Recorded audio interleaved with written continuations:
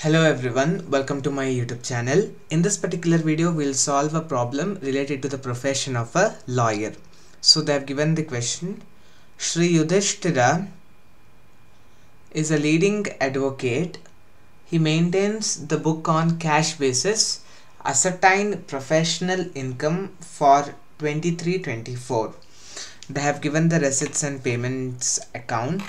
Below that, they have given some additional information loan is borrowed for professional purpose. So the loan from bank whatever they have given here 65000 that is borrowed for professional purpose. But we will not give that uh, reduction here. But interest on loan we will consider. Depreciation rates they have given.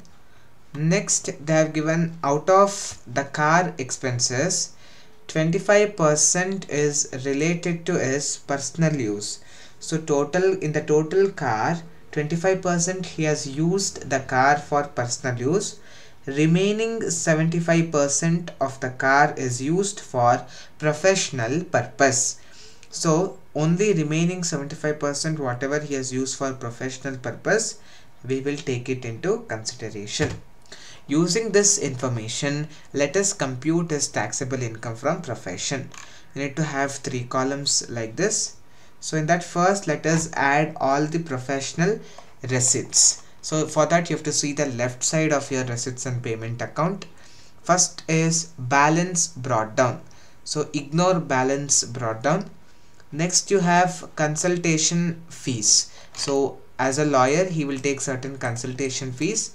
That we will take it into consideration. 37700 next you have special commission. So he has taken a special commission. That also we will take it into consideration. Next you have presents from clients. This is nothing but gifts from clients which is allowable. So gift from clients 12500 rupees you will allow it. Next remuneration from articles. As a lawyer he would have written certain articles in the newspapers and magazines from which he would have received certain articles so all those things are allowable. So remuneration from articles 22700 is allowable. Next.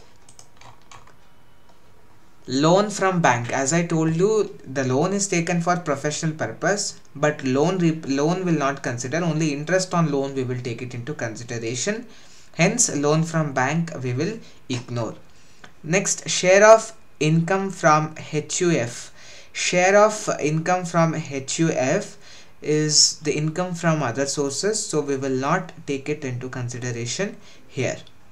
Next you have arbitration fees. So we're having arbitration fees is related to lawyer. So that arbitration fees we will take it into consideration of 23250 next income from betting income from betting comes from income from other sources comes under income from other sources. So here we will not consider that income from betting. So that's all about the receipt side. So add everything. You will get a total of 1 lakh 25,950 you get the total of 1 lakh 25,950 from that you have to reduce all the professional payments. For that look into the credit right side of your uh, receipts and payment account. Staff salary. So you would have appointed certain staff members. For them he need to pay the salary. Next. Office rent 6000 rupees. He he might be having a rented building. So for which he would be paying an office rent of 6000 rupees purchase of professional books. So professional books purchasing is uh, a capital expenditure. We will not consider the capital expenditure here but depreciation on that which is a revenue expenditure that will be considered. So depreciation on professional books the total value of professional books is 7500 as per the income tax rules uh, the depreciation rates on books is 40% we will consider that 40% depreciation rates the answer will be 3000 rupees. Furnitures purchased. Furnitures purchased is also again a capital expenditure. We will not consider the capital expenditure here but depreciation on that furniture can be considered. So the total value of depreciation is 15000 uh, the rate of depreciation of uh, furniture as per income tax rules is 10% so 15000 into 10% will be 1500 that is your depreciation. Next you have car expenses. Car expenses is 9000 rupees. In the additional info they have told that in that 25% is for personal use. So only remaining 75% which is used for his profession that we will be taking it into consideration. Next computers purchased. As i told you computers purchase is a professional expenditure. So it is a cap sorry it is a capital expenditure.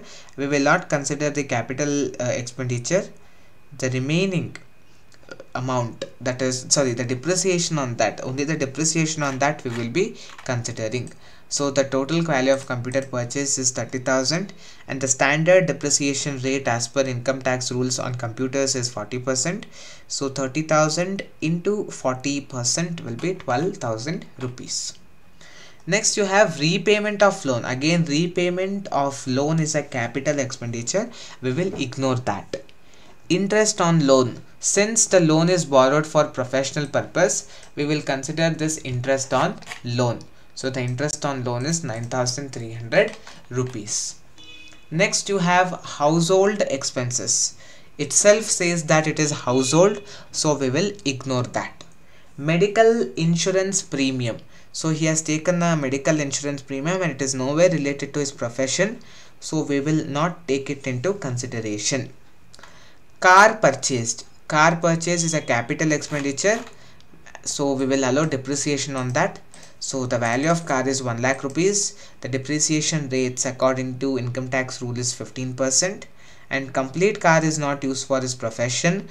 75% of the car is only used for the profession. So we will consider only 75% next. Balance carried down. So balance carried down we have to ignore. Now that's all about the professional payments if you add all these things you will get the total professional expenditure of 64,100 rupees.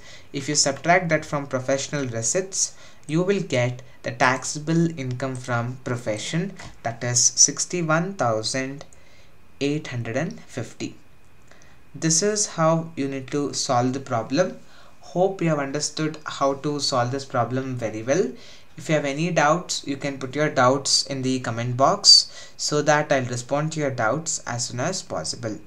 Thank you for watching the video. I'll come back in the next video with some more problems